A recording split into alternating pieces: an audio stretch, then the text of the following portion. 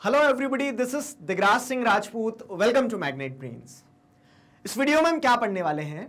इस वीडियो में हम पढ़ेंगे सेलेनिटी ऑफ़ ओशियन वाटर्स पिछले वीडियो तक हम लोगों ने टेम्परेचर वाली जो कैरेक्टरिस्टिक है ओशियन वाटर्स की, वो समझ ली है। हमने देखा कि किस तरह से वर्टिकल डिस्ट्रीब्यूशन क्या है टेम्परेचर का हॉरिजॉन्टल डिस्ट्रीब्यूशन क्या है। हमने ये भी जाना कि what are the factors which influences the temperature distribution of ocean waters तो जब आप वाटर को पढ़ते हो चैप्टर में ओशियंस को पढ़ते हो तो आपको एक चीज़ तो समझ में आ गई है कि हाँ ओशियन वाटर जो उसको कैरेक्टराइज किन टर्म्स में किया जा सकता है तो हाँ टेम्परेचर उसका एक कैरेक्टरिस्टिक होगा। और दूसरा जो इंपॉर्टेंट कैरेक्टरिस्टिक है ओशियन वाटर का, वो है सेलेनिटी अब सेलेनिटी को हम इस वीडियो में और इसके बाद आने वाले वीडियो में उनका हॉरिजॉन्टल और वर्टिकल डिस्ट्रीब्यूशन जो है, पूरा समझने वाले हैं। क्या होता है सेलेनिटी सबसे पहला सवाल आपके मन में यह आया होगा और मैं आपसे पूछता हूँ।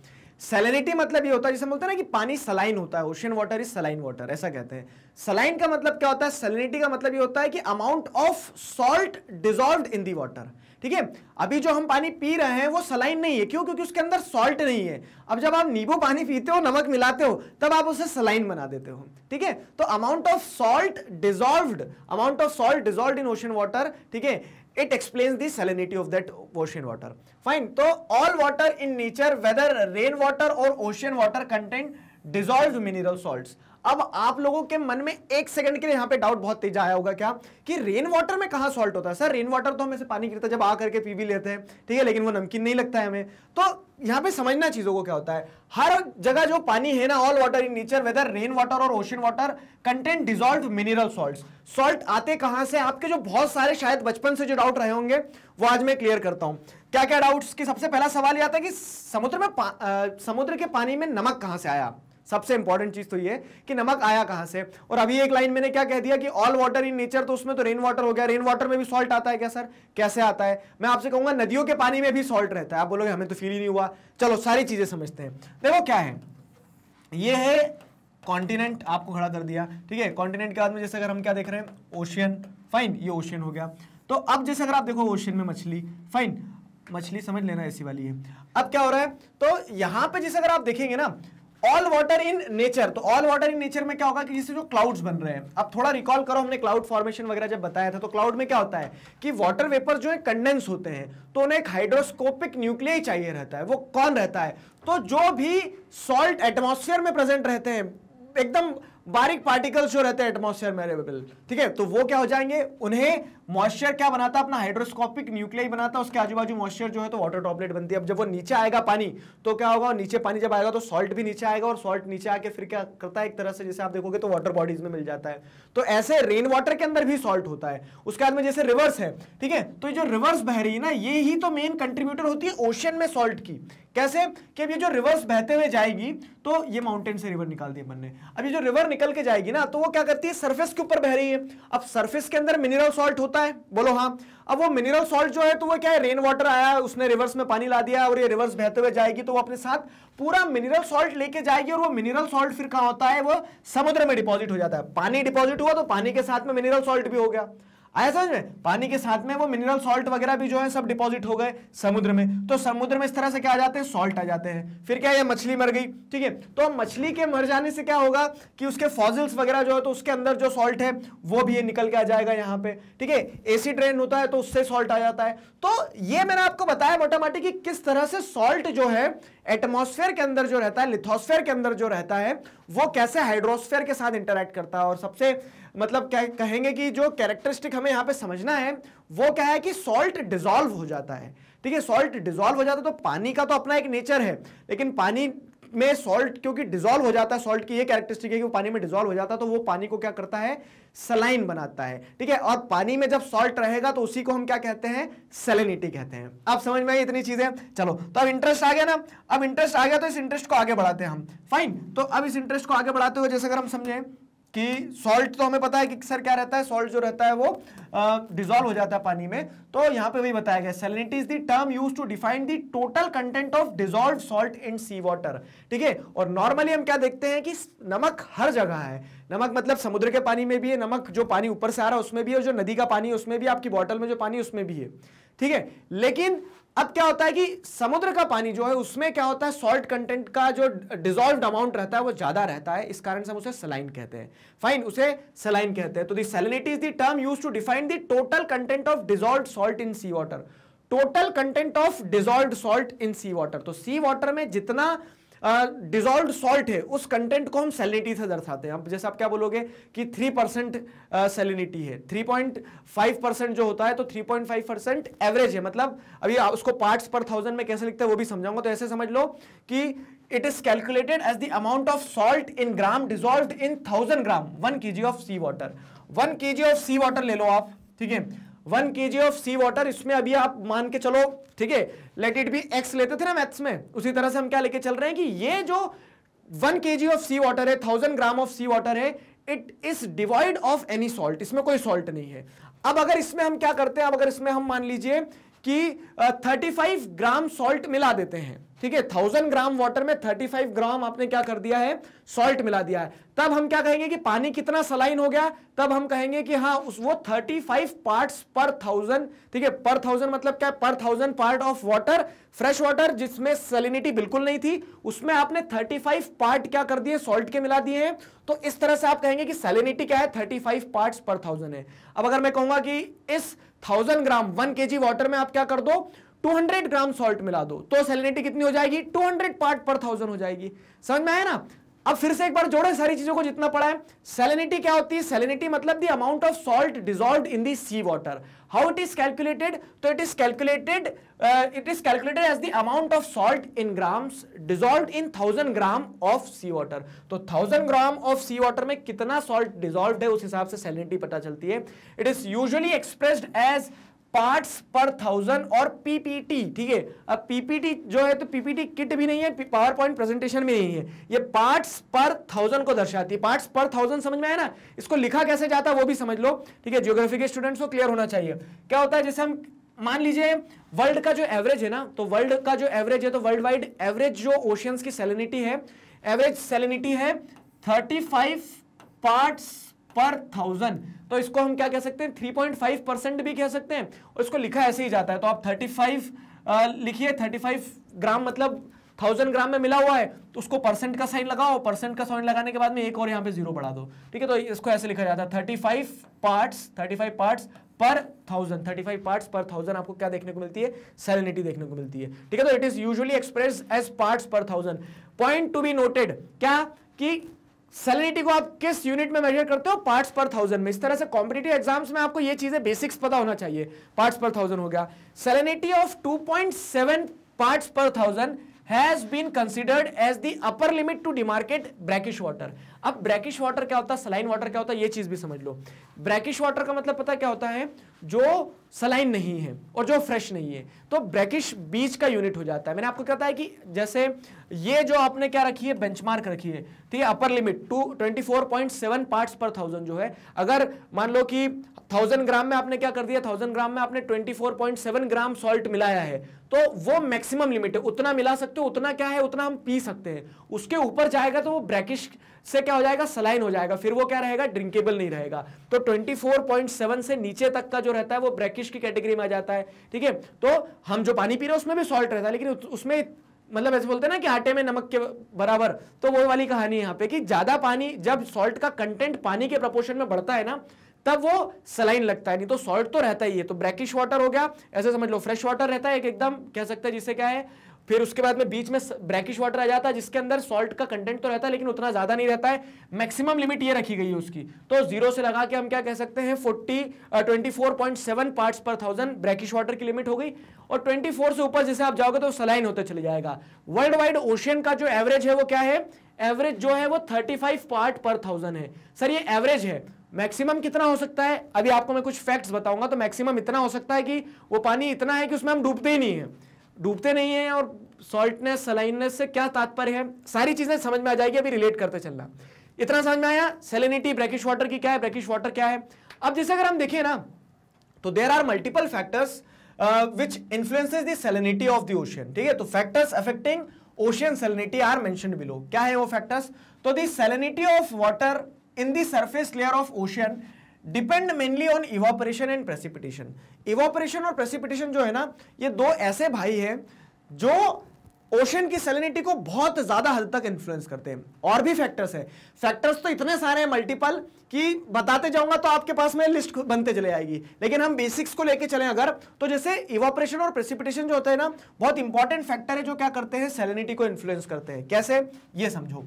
देखो, मैं आपको इसमें थोड़ा सा हॉरिजॉन्टल डिस्ट्रीब्यूशन भी कनेक्ट करवा दूँगा और कंसेप्ट भी बता दूँगा। अब क्या होता है, जैसे एक वाटर बॉडी है, ठीक है, एक वाटर बॉडी है, अब उस वाटर बॉडी में हम ओशन ही है अब ओशन में क्या होता है, पानी है, पानी के अंदर डिजोल्व सॉल्ट भी है।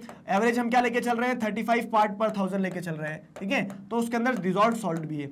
अब इवापोरेशन और प्रेसिपिटेशन इन्फ्लुएंस करता है। तो पहला कंडीशन हम क्या लेते हैं, पहला कंडीशन हम लेते हैं इवापोरेशन जगह ही नहीं बच रही है पहली कंडीशन हम लेते हैं इवापोरेशन ठीक है इवापोरेशन लेके चलते हैं पहली कंडीशन हम। तो इवापोरेशन से क्या होगा? जैसे सोलर इंसुलेशन आएगी वाटर वेपर्स ऊपर उड़ेंगे। वाटर वेपर्स उड़ेंगे तो अब क्या होता है? पानी पानी तो उड़ जाएगा, ठीक है? ये जैसे वाटर बॉडी थी तो पानी तो क्या हो जाएगा? इवापोरेट हो जाएगा गैशियस स्टेट में। लेकिन सॉल्ट तो वही रह जाएगा, ठीक है? सॉल्ट बेचारा मायूस कि मुझे यही छोड़ गए। तो अब क्या हो रहा है? सॉल्ट यहाँ पे बढ़ता जा रहा है। अब आप सोच रहे होंगे ना कि सर ओशियन में चलो, क्या है कि सॉल्ट पाया जाता है, लेकिन ओशन में इतना सॉल्टी पानी क्यों हो जाता है? तो लाखों साल से यही प्रोसेस चल रही है। क्या चल रही है लाखों साल से प्रोसेस कि नदियों से पानी बह के आ जाता है ओशियन में। वो अपने साथ सॉल्ट लेके आ जाता है। तो पानी जो आया था अभी आपने चैप्टर के स्टार्टिंग में क्या पढ़ा था? हाइड्रोलॉजिकल साइकिल में। जितना पानी आता है, उसका 59 परसेंट तो वापस इवोपरेट हो जाता है। तो पानी जो आया था, वो क्या होता है? पानी जो आया, वो इवोपरेट हो गया। लेकिन जो सॉल्ट लेके आया था, पानी हर साल आता है और और जो हर साल पानी आ रहा है, वो क्या करता है? सॉल्ट और ऐड करते चले जा रहा है। तो इस कारण से क्या होता है? इस कारण से जैसे आप देखोगे तो उसमें सॉल्ट कंटेंट बढ़ता चले जाता है। इसी कारण से ओशन वाटर जो है सलाइन होते हैं और। ठीक है? तो इवापोरेशन हो जाएगा। तो अब आप क्या सीखे कि इवापोरेशन से सेलेनिटी बढ़ती है या घटती है? इवापोरेशन से सेलेनिटी बढ़ती है। तो इवापोरेशन से अगर आप सेलेनिटी को समझोगे तो सेलेनिटी क्या बढ़ रही, हो रही है? बढ़ रही है। ठीक, हमने क्या स्टेटमेंट पढ़ा था कि what are the factors which influences the salinity of ocean water तो इवापोरेशन इन्फ्लुएंस करता है। इवापोरेशन क्या है? इवापोरेशन दुश्मन है सेलिनिटी का। ठीक है, जैसे जैसे इवापोरेशन बढ़ेगा, वैसे वैसे क्या है? डायरेक्टली प्रोपोर्शनल है। सेलिनिटी भी बढ़ती चलाएगी। क्यों? क्योंकि पानी तो इवापोरेट हो जाएगा सॉल्ट नीचे रह जाएगा। ठीक है, फिर अब प्रेसिपिटेशन की अगर हम बात करें तो प्रेसिपिटेशन में क्या होता है कि ये जो वाटर वेपर्स इवापोरेट होके गए थे, ये क्या हो जाएँगे? कंडेंस हो जाएँगे क्लाउड बन जाएँगे और ये प्रेसिपिटेट करेंगे। अब ऊपर से जो पानी आ रहा है तो वो रिलेटिवली क्या रहेगा? वो रिलेटिवली लेस सॉल्टी रहेगा, वो सलाइन नहीं रहेगा फ्रेश रहेगा, ठीक है? अब सॉल्ट तो उसमें भी रहेगा हाइड्रोस्कोपिक न्यूक्लियाई बनेगा, जो मैंने आपको स्टार्टिंग में बताया। लेकिन वो क्या है? फ्रेश रहेगा। तो फ्रेश वाटर जब समुद्र में आके मिलेगा ना तो उससे क्या होगा? उससे अभी तक क्या है? पानी जो नमकीन था, उसके अंदर फ्रेश वाटर मिला दिया तो क्या होगा? सेलिनिटी कम होगी, बढ़ेगी, कम होगी। एग्ज़ाम्पल एग्ज़ाम्पल जैसे ग्लास में आप क्या करो? एक ग्लास में आप पानी नमक मिला लो, ठीक है? अब वो ग्लास में नमक मिला रहे तो अभी पानी पियोगे, नमकीन ज़्यादा लगेगा। अब उसमें उतना ही पानी आप क्या कर दो, फ्रेश वाटर मिला दो बिना नमक के। फिर पानी पियोगे तो आपको कम लगेगा ना सलाइन? तो वैसे क्या हो रहा है कि प्रेसिपिटेशन की अगर हम बात करें, ठीक है? ऊपर से जो बारिश होगी तो प्रेसिपिटेशन की अगर हम बात करते हैं तो प्रेसिपिटेशन से क्या होता है? सेलिनिटी डिक्रीज होती है। आया समझ में? देखो कंसेप्ट से समझते चलना। तो प्रेसिपिटेशन और इवापरेशन क्या कर रहे हैं? इन्फ्लुएंस कर रहे हैं। अब आ जाओ जरा मैप पे। तो आप जैसे देखोगे कि ट्रॉपिकल रीजन जो है मैक्सिमम इवापरेशन ट्रॉपिकल रीजन में हो रहा है। ट्रॉपिकल रीजन में इवापोरेशन हो रहा है तो यहाँ पे सेलिनिटी क्या होना चाहिए? बहुत ज़्यादा होना चाहिए। लेकिन यहाँ पे सेलिनिटी कम है, मैं कहूँगा। अब बोलोगे, ऐसा कैसे? तो यहाँ पे प्रेसिपिटेशन भी तो हो जाता है। और ट्रॉपिकल रीजन में आपको पता है, जितना इवापोरेशन हो रहा है व्हेन इवापोरेशन एक्सीड्स प्रेसिपिटेशन ठीक है तो वही यहाँ पे ह्यूमिड क्लाइमेट रहेगा, ज़्यादा बारिश हो रही है बहुत ज़्यादा इवापोरेशन से ज़्यादा प्रेसिपिटेशन हो रहा है। तो उस कारण से हमें क्या देखने को मिल रहा है यहाँ पे? कि यहाँ पे इवापोरेशन तो हो रहा है, लेकिन प्रेसिपिटेशन भी हो रहा है। तो सेलिनिटी को क्या कर दिया जाता है? कम कर दिया जाता है। क्यों? क्योंकि प्रेसिपिटेशन ज़्यादा है। प्रेसिपिटेशन ज़्यादा होने के साथ साथ में आजू बाजू से जो रिवर्स आ रही है, जो लैंड पे जहाँ से इवापोरेशन नहीं हुआ है, लेकिन वहाँ का पूरा पानी जो है, ठीक है कैचमेंट एरिया जो होता है रिवर्स का तो वो पानी लेके कहाँ लाती है? अपना पानी लाती है और डाल देती है इन ट्रॉपिकल रीजन में जो समुद्र है उसमें। तो उससे क्या होता है कि यहाँ पे सेलिनिटी कम होती है। ठीक है? ध्यान रखना। ये चीज़ इंपॉर्टेंट है, ध्यान रखना अच्छे से कि किस तरह से इवापोरेशन प्रेसिपिटेशन जो इन्फ्लुएंस करते हैं सेलिनिटी को और वर्ल्ड वाइड क्या केस रहता है। तो वर्ल्ड वाइड केस को अभी और अच्छे से समझेंगे हम। अभी आगे बढ़ते हैं यहाँ पे। तो surface salinity is greatly influenced by coastal region by the fresh water flow from surface salinity is greatly influenced by the coastal in the coastal region by fresh water flow from rivers and in polar region by the process of freezing and thawing of ice अब यहाँ पे क्या case होता है? तो जैसे अगर आप देखेंगे, समझेंगे। तो क्या होता है ना कि सेलिनिटी जो है कोस्टल रीजन में सरफेस सेलिनिटी जो है, उसको फ्रेश वाटर भी इन्फ्लुएंस करता है। फैक्टर्स ध्यान रखना इवोपरेशन इन्फ्लुएंस करता है सेलिनिटी को। इवोपरेशन के बाद में क्या है? प्रेसिपिटेशन इन्फ्लुएंस करता है। अब अगर हम बात करें तो fresh water flowing fresh water flowing में क्या होता है? जैसे हिमालय से रिवर्स निकल के आ रही गंगा हो गई, ठीक है, ब्रह्मपुत्र हो गई, ये सारी रिवर्स ऊपर से जो पानी लेके आ रही ग्लेशियर मेल्ट हो रहे हैं ग्लेशियर मेल्ट हो रहे हैं, वो फ्रेश वाटर लेके आ रही है। उसके अंदर सॉल्ट रहेगा, ज़मीन से टकराते हुए मिनरल सॉल्ट लेके आएगी, लेकिन जो समुद्र का पानी उससे तो रिलेटिवली क्या रहेगी? वो लेस सलाइन रहेगी ना? ब्रैकिश रहेगी मान लो। ब्रैकिश से भी कम। तो अब ये जो पानी लेके आ रही है, ये रिवर्स जो फ्रेश वाटर लेके आ रही है, ये फ्रेश वाटर कहाँ डंप करेगी ये? ये ओशियन में डंप करेगी। तो ओशियन का पानी जो सलाइन था, वही, वो ग्लास में आपने नमक मिलाया था, वो नमकीन था। लेकिन उसमें जब फ्रेश वाटर मिलाओगे तो फिर उसकी सैलिनिटी कम हो जाएगी ना? तो वैसे ही क्या होता है कि ओशियन सर्फेस के ऊपर जो कोस्टल रीजन में सैलिनिटी रहती है it is being influenced by the fresh water drained by the rivers ठीक है एंड अदर मीडियम्स ठीक है? तो रिवर्स वगैरह रेन वाटर जो है, वो जब आके मिलता है ना तो कोस्टल रीजन की सैलिनिटी को वो इन्फ्लुएंस करता है। क्लियर हुआ? अब इसका एक बहुत अच्छा आपको प्रैक्टिकल वो बताऊँ मैं इंप्लीकेशन जैसे आप इंडियन कंटेक्स में देखेंगे तो इधर क्या है? बे ऑफ़ बंगाल जो है हमारा बे ऑफ़ बंगाल है और इधर अरेबियन सी है अरेबियन सी तो आप बताओ कि बे ऑफ़ बंगाल में ज़्यादा सेलिनिटी होना चाहिए या अरेबियन सी में ज़्यादा होना चाहिए? तो सेलिनिटी ज़्यादा है अरेबियन सी में। क्यों है पता है? क्योंकि यहाँ पे फ्रेश वाटर फ्लोइंग रिवर कौन सी है? सिर्फ़ नर्मदा और तापी ही दो बड़ी रिवर है, बाकी छोटी मोटी छुटपुट छुटपुट सी रिवर है जो उतना फ्रेश वाटर ड्रेन ही नहीं कर पाती है। तो जब फ्रेश वाटर ड्रेन नहीं हो रहा है तो इस कोस्टल रीजन की सेलिनिटी को इन्फ्लुएंस कर रहा है नहीं कर रहा है वो? कम फ्रेश वाटर आ रहा मतलब इसकी इवोपरेशन तो हो रहा है लेकिन तो सेलिनिटी यहाँ पे क्या रहेगी? ज़्यादा रहेगी। क्यों? क्योंकि फ्रेश वाटर एड ऑन नहीं हो रहा है, उल्टा जो पानी है वो इवोपरेट हो जा रहा है। ठीक है? तो यहाँ पे अरेबियन की सेलिनिटी ज़्यादा है। बे ऑफ़ बंगाल से अगर कंपेयर करोगे तो क्यों क्योंकि बे ऑफ़ बंगाल में गंगा, ब्रह्मपुत्र, ये जो रिवर्स अपना पानी ड्रेन कर रही है ना तो ये क्या है फ्रेश वाटर ड्रेन कर रही है। इस कारण से बे ऑफ़ बंगाल की सैलिनिटी क्या है? कम है। समझ में आई पॉइंट ठीक है? अब आगे आते हैं और। तो wind also influences salinity of an area by transferring water to other area अब क्या होता है? By transferring water to other area मतलब क्या है? कि जैसे आप देखोगे विंड्स की अगर हम बात करें प्लेनेटरी विंड्स चल रही है। प्लेनेटरी विंड्स जो चलती है तो प्लेनेटरी विंड्स क्या करती है? प्लेनेटरी विंड्स का कंसेप्ट समझना यहाँ पे जैसे आप इंडियन कंट्रीज़ में देखोगे ही तो यहाँ पे ईस्टर्लिस चल रही होती है ऐसी। ठीक है? इधर इक्वेटर के इधर से ऐसी आ रही होती है। तो नेक्स्ट पेज पे ले ले क्या? चलो, ठीक है? तो जैसे अगर आप देखोगे प्लेनेटरी विंड्स जो चल रही होती है, ठीक, ये प्लेनेटरी विंड्स ये इंडिया हो गया। तो अब प्लेनेटरी विंड्स क्या है? ईस्टर्लिस ये चल रही है। तो ईस्टर्लिस क्या करेगी? पानी को बहा के ले जाएगी। अभी आपको मैंने टेम्परेचर के कंटेक्स में बताया था कि कैसे विंड जो है टेम्परेचर को भी इन्फ्लुएंस करती है। तो अब क्या होगा कि ये विंड्स को जैसे ये ऑफशोर विंड्स हैं, ठीक है, ये प्लेनेटरी विंड्स क्या है? ऑफशोर है इंडियन कंटेक्स में। तो ये पानी को इधर बहा के ले जाएगी तो यहाँ से पानी बह के यहाँ आ गया, ठीक है? तो यहाँ पानी जो आ गया तो ऊपर का पानी जो था, जो सलाइन था, ठीक है? ऊपर का पानी जो लेस सलाइन था। क्यों लेस सलाइन था बताऊँ एक कारण? क्योंकि ऊपर का पानी क्या इवापोरेट हो रहा है ना तो इवापोरेट होने के कारण वहाँ पे पानी जो मॉलिक्यूल्स लेस डेंस रहते हैं, ठीक है? तो वो पानी कहाँ आ जाएगा? यहाँ आ जाएगा। अब यहाँ पे क्या होगा तो ऊपर का पानी चले गया, नीचे का पानी अपवेल होकर आएगा। अब जो नीचे का पानी था ना, नीचे का पानी क्या है? नीचे के पानी में डिजोल्व सॉल्ट पार्टिकल ज़्यादा थे। इस कारण से क्या हुआ? इस कारण से वो पानी डेंस था और वो ऊपर आया तो यहाँ पे सेलिनिटी बढ़ेगी।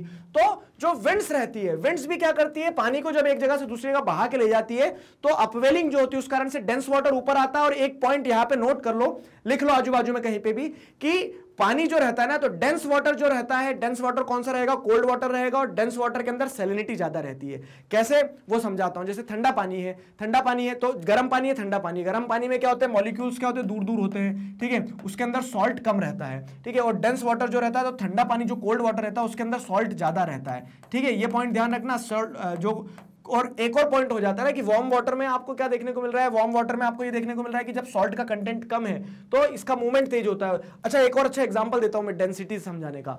डेंसिटी समझाने का सबसे अच्छा एग्ज़ाम्पल क्या है? कि एक पानी के अंदर आप नमक मिलाओ एक ग्लास के अंदर, एक के अंदर मत मिलाओ। फिर आप क्या करना? आप उस पानी को मारना अपने चेहरे पे, ठीक है? अलग अलग एक एक करके, ठीक है? करके देखना एक्सपेरिमेंट मज़ा आएगा। तो जो, जिसमें आपने नमक नहीं मिलाया, उससे उतनी ज़ोर से नहीं लगेगी। लेकिन जिसमें नमक मिलाया है जिस पानी के अंदर डिजोल्व पार्टिकल है, उसकी डेंसिटी ज़्यादा होती है तेज लगता है वो। तो इस तरह से पानी की डेंसिटी जो है, वो टेम्परेचर पर इन्फ्लुएंस होती है। ये सारे फैक्टर्स आपस में कनेक्टेड रहते हैं, ठीक है? ये पॉइंट समझ में आया? चलो तो क्या बता रहे थे हम आपको? क्या बता रहे थे पॉइंट पॉइंट ये था हमारा कि wind also influences salinity of an area by transferring water to other areas तो विंड जो है वो प्लानिटरी विंड्स को क्या करती है? धगा प्लानिटरी विंड्स जो होती है रीजनल विंड्स जो होती है, वो वाटर के मूवमेंट को इन्फ्लुएंस करती है और वाटर के मूवमेंट से क्या होता है? अपवेलिंग होती है और जो कोल्ड वाटर रहता है, वो डेंस वाटर रहता है, उसके अंदर डेंसिटी क्यों बढ़ती है? क्योंकि सॉल्ट कंटेंट ज़्यादा रहता है। तो ऐसे भी क्या हो रहा है? सेलिनिटी जो है वो इन्फ्लुएंस होती है। The ocean current contribute to the salinity variation ठीक है? ओशन करंट भी यहाँ तक अभी एक स्टेटमेंट खत्म हो गया, इसको नीचे करके लाना था, लेकिन अब समझ लो कि ओशन करंट भी क्या करते हैं? सेलिनिटी वेरिएशन को इन्फ्लुएंस करते हैं। कैसे? विंड ओशन करंट को इन्फ्लुएंस करती है, ठीक है? ओशन करंट आप नेक्स्ट चैप्टर में पढ़ोगे अच्छे से।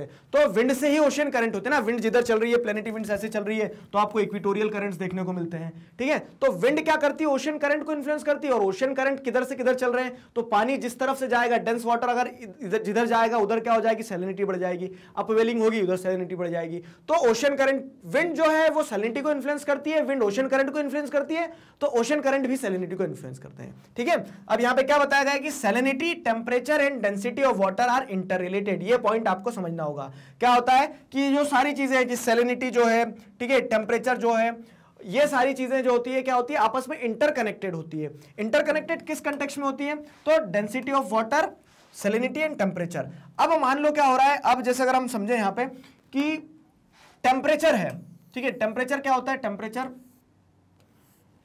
टेम्परेचर जो है इक्वेटर पे क्या रहता है? ज़्यादा रहता है। ठीक है? इक्वेटर पे टेम्परेचर ज़्यादा रहता है। तो यहाँ पे क्या होगा? इवोपरेशन ज़्यादा होगा। अब आपको क्या सिखाया था मैंने कि इवोपरेशन जो है तो इवोपरेशन जब ज़्यादा रहेगा तो सेलिनिटी बढ़ जाएगी सर क्यों? क्योंकि इवोपरेट हो गया, पानी तो सॉल्ट सॉल्ट रह गया। लेकिन इक्वेटर पे प्रेसिपिटेशन भी हो जाता है। तो इक्वेटर पर इस कारण से सेलिनिटी ज़्यादा नहीं रहती है। लेकिन इक्वेटर का पानी का जो टेम्परेचर है, वो वार्म रहता है। ठीक है?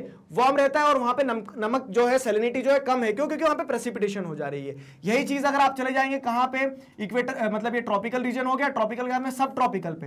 तो अब सब ट्रॉपिकल पे क्या हो रहा है? सब ट्रॉपिकल पे टेम्परेचर तो ज़्यादा है, ठीक है? रिलेटिवली अगर देखा जाए पोलर टेम्परेट और पोलर रीजन से तो सब ट्रॉपिकल में टेम्परेचर ज़्यादा रहेगा। रिलेटिव बता रहा हूँ मैं आपको टेम्परेचर ज़्यादा रहेगा। अब उसी के साथ साथ में क्या होता है? टेम्परेचर ज़्यादा है और यहाँ पे सेलिनिटी भी ज़्यादा रहेगी। क्यों? क्योंकि यहाँ पे प्रेसिपिटेशन एक्सीड नहीं करता। जितना ट्रॉपिकल रीजन में प्रेसिपिटेशन हो रहा है, उतना नहीं हो रहा है। तो यहाँ पे टेम्परेचर ज़्यादा है इवोपरेशन ज़्यादा होगा, लेकिन उतना प्रेसिपिटेशन नहीं होगा तो क्या होगा? सेलिनिटी बढ़ जाएगी। आगे समझ में कि कैसे टेम्परेचर सेलिनिटी जुड़ा हुआ रहते हैं? अब इसको डेंसिटी से अगर जोड़ोगे तो कोल्ड वाटर ऊपर चले जाओ आप टेम्परेट रीजन में। टेम्परेट रीजन में क्या होता है? कोल्ड वाटर जो रहता है, उसकी डेंसिटी ज़्यादा रहती है। वार्म वाटर के क्या रहते हैं? मॉलिक्यूल्स दूर दूर रहते हैं। ठीक है? कोल्ड वाटर के टेम्परेचर मतलब कोल्ड वाटर का टेम्परेचर कम है टेम्परेचर कम होने के कारण उसकी डेंसिटी भी ज़्यादा रहती है। अब डेंसिटी जब ज़्यादा है तो उस डेंस वाटर में क्या होता है? अमाउंट ऑफ़ सॉल्ट डिजॉल्व जो रहता है ना, वो ज़्यादा रहता है। और एक और पॉइंट यहाँ पे ध्यान रखना है, क्योंकि यहाँ पे इवोपरेशन नहीं है उतना, ठीक है? टेम्परेचर कम इवोपरेशन कम। इवोपरेशन कम है तो यहाँ पे आप क्या बोलोगे, सर इवोपरेशन कम है तो इस कारण से क्या रहेगा कि सेलिनिटी मतलब इवोपरेशन कम है तो यहाँ पे सेलिनिटी जो है वो कम रहना चाहिए। लेकिन ऐसा नहीं होता है। इवोपरेशन कम है यहाँ पे, उसके बावजूद, लेकिन प्रेसिपिटेशन भी नहीं हो रहा है। तो इवोपरेशन भी कम है प्रेसिपिटेशन भी कम है तो वो सॉल्ट तो वहीं का वहीं रह गया। ठीक है? वो सॉल्ट वहीं का वहीं रह गया तो इस कारण से सेलिनिटी बढ़ भी जाती है। फाइन देखो, मैं आपको कंफ्यूज नहीं करना चाहता हूँ। कंफ्यूज इस कंटेक्स में नहीं करना चाहता हूँ, क्योंकि बहुत सारे फैक्टर्स पैरल काम करते हैं। इस चीज़ पे तो एक स्पेसिफिक वीडियो बनाया जाना चाहिए कि what are the factors which influences the salinity तो इसमें आपको टेम्परेचर डिस्ट्रीब्यूशन ओशियन करंट्स ये सारे पॉइंट्स को अच्छे से समझाया जाएगा। अभी हम वापस आते हैं बेसिक्स पे। तो हमने ये देख लिया कि हाँ इवोपरेशन प्रेसिपिटेशन टेम्परेचर सेलिनिटी को इन्फ्लुएंस करते हैं। फिर उसी के साथ साथ जैसे अगर आप देखोगे तो जो अमाउंट ऑफ़ वाटर डिस्चार्ज किया जा रहा है फ्रेश वाटर वो भी क्या करता है? कोस्टल रीजन में जो सी वाटर है, उसकी सेलिनिटी को इन्फ्लुएंस करता है। ठीक है विंड जो है विंड ओशन करंट ये सेलिनिटी को इन्फ्लुएंस करते हैं। और इन सारी चीज़ों को जानने के बाद में हमने ये सीखा कि हाँ density temperature salinity these all things are interconnected ठीक है? तो hence any change in temperature और density influences the salinity of water in area temperature बढ़ेगा, घटेगा, ठीक है? डेंसिटी बढ़ेगी, घटेगी तो उससे सेलिनिटी भी बढ़ेगी, घटेगी। फाइन अब highest salinity in water bodies की अगर बात करें, मैंने आपको क्या बताया? एवरेज कितना है? 35 पार्ट्स पर थाउज़ेंड अब इसी को अगर हम हाईएस्ट लोवेस्ट के कंटेक्स्ट में देखें तो मैं आपको बताता हूँ। Highest salinity in water bodies अगर देखोगे तो सबसे ज़्यादा कहाँ पे? Which is the most saline water body in the world तो Lake Van in Turkey Turkey है यहाँ पे ठीक है? टर्की में आपको लेक वैन देखने को मिलेगा। इसकी पता है कितनी सेलिनिटी है? 330 पार्ट पर थाउज़ेंड मतलब थाउज़ेंड ग्राम ऑफ़ वाटर अगर निकालोगे तो थाउज़ेंड ग्राम ऑफ़ वाटर में कितना नमक मिला हुआ रहेगा? 330 ग्राम नमक मिला हुआ रहेगा। Highest salinity in the world इतना डेंस वाटर होता देखो सेलिनिटी से डेंसिटी जो रहती है डायरेक्टली प्रोपोर्शनल रहती है। जितनी ज़्यादा सलाइन होगा, उतना ज़्यादा डेंस वाटर हो जाएगा, क्योंकि नमक के पार्टिकल उसमें मिले हुए हैं ना। तो अगर आप डेंस वाटर किसी को मारोगे, ठीक है मतलब सलाइन वाटर किसी को मारोगे, जितना ज़्यादा वाटर सलाइन होगा, उतनी ज़ोर से लगेगी उसे। नमक का पानी जो होता है, और एक और अच्छा एग्ज़ाम्पल मैं आपको देता हूँ, बहुत बढ़िया, ठीक है कनेक्ट कर पाओगे। कभी आपने मटके वाली कुल्फी खाई है वो? तो वो जिस मटके वाली कुल्फी जो रखते हैं ना तो वो क्या करते हैं, ठंडा पानी रहता है तो कोल्ड होने के कारण वैसी डेंसिटी कम वाटर की उसके अंदर नमक भी मिला के रखते हैं वो, ठीक है। नमक भी मिला के रखते हैं। तो वो पानी कभी देखना, उस पानी पे से हाथ लगाते हैं। तो हाथ लगाते तो हमें बहुत तेज़ी से ऐसा मारना पड़ता है उसमें, लगती है उसमें ज़ोर से। क्यों लगती पता है? क्योंकि उसकी डेंसिटी कोल्ड भी है और साथ साथ में नमक भी मिला हुआ उसमें इतना सारा। तो इस तरह से आपको ये चीज़ें ध्यान रखना है कि हाँ कि डेंसिटी जो रहती है सलाइन वाटर की बहुत ज़्यादा रहती है। तो यहाँ पे आपको क्या देखने को मिल रहा है कि लेक वैन जो है टर्की में, उसमें कितनी डेंसिटी 330 इतना ज़्यादा डेंस होता है कि आदमी डूबता नहीं है पानी में। क्यों? क्योंकि नमक के कारण डेंसिटी ज़्यादा रहती है। डेड सी जो है तो आपने बहुत सारे यूट्यूब पे ऐसे वीडियो देखे होंगे कि डेड सीट में डेड सी में क्या है? आदमी तैर रहा होता, डूबता नहीं है अंदर। क्यों नहीं डूबता डेड सी में? क्योंकि उसकी डेंसिटी उसमें भी देखो 238 पार्ट्स पर थाउज़ेंड है। इंसान डूब नहीं रहा है। अब इंसान डूब इसलिए नहीं रहा है क्योंकि उसके अंदर इतना ज़्यादा नमक मिला है पानी के अंदर डेंसिटी इतनी ज़्यादा है उस पानी की, उसका पार्ट्स पर थाउज़ेंड जो आप सेलिनिटी देख रहे हो सेलिनिटी इतनी ज़्यादा है डेंसिटी इतनी ज़्यादा है कि इंसान मतलब पानी इतना डेंस हो गया कि आदमी डूबता नहीं है। सॉलिड जो है सॉलिड की डेंसिटी ज़्यादा है ना, उस कारण से आप खड़े हो पाते हो उस पर वही केस है यहाँ पे।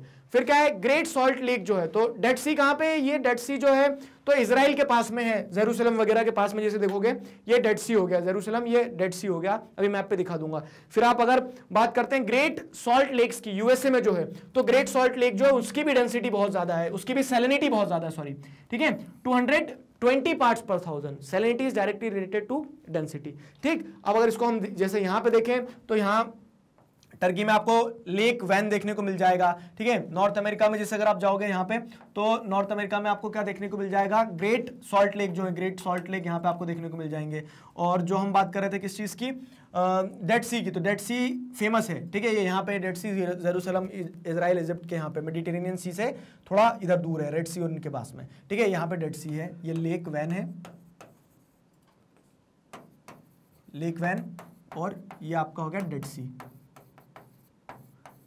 Clear so this was all about this video I hope you enjoyed it आपको सारी चीज़ें समझ में आ गई है। मैग्नेट बीन्स पर इसी तरह से। अब नेक्स्ट वीडियो में हम क्या करने वाले हैं? हाँ ये भी सुन लो। हम हॉरिजॉन्टल और वर्टिकल सेलिनिटी को भी देख लेंगे जिस तरह से हमने आ, क्या देखा था? टेम्परेचर के हॉरिजॉन्टल और वर्टिकल डिस्ट्रीब्यूशन को देखा था। मैग्नेट बीन्स पर इसी तरह से किंडर गार्डन से क्लास ट्वेल्थ तक। सभी सब्जेक्ट्स चैप्टर्स टॉपिक सब टॉपिक सब कुछ सिस्टमेटिक वे में। वीडियो लेक्चर्स के फॉर्मेट में अवेलेबल हैं जिन्हें आप बहुत आसानी से देख सकते हैं पढ़ सकते हैं। घर बैठे अपना सिलेबस कंप्लीट कर सकते हैं। जी हाँ अपने जूनियर्स और सीनियर्स को ज़रूर बताइए मैग्नेट बीन्स के बारे में। मिलते हैं नेक्स्ट वीडियो में। हॉरिजॉन्टल डिस्ट्रीब्यूशन ऑफ़ सेलिनिटी के साथ में। Till then stay connected keep learning thank you thank you very much